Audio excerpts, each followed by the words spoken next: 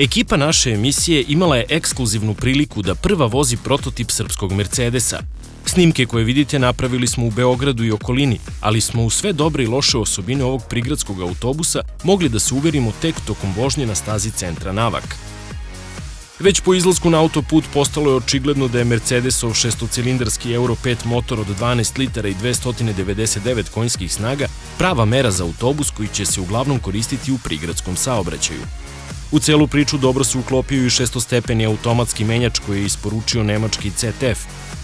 To se posebno osjetilo i u vožnji na stazi, tokom koje smo primetili da uprkos dužini od 12 metara, model IK 112 LE sa lakoćom savladava krivine, čemu doprinosi lako rukovanje upravljačem i dobro podešeno ogibljenje.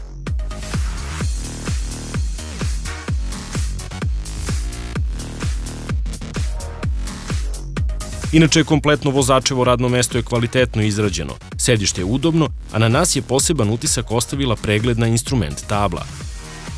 Velike staklene površine za koje je u najvećoj meri zadužena fabrika Stakla Pančevo nude vozaču dobru preglednost u svim pravcima, ali sve bi bilo još bolje da nema ovih grejača stakala koje su nam tokom vožnje delimično zaklanjali pogled na retrovizor.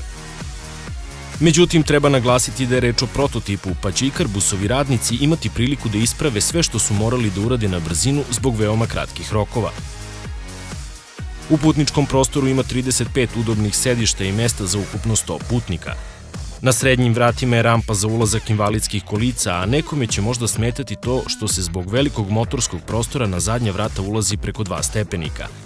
Međutim, ipak je reč o solo autobusu i nizak pod na prednjim i srednjim vratima je najviše što je u ovom slučaju moglo da se postigne.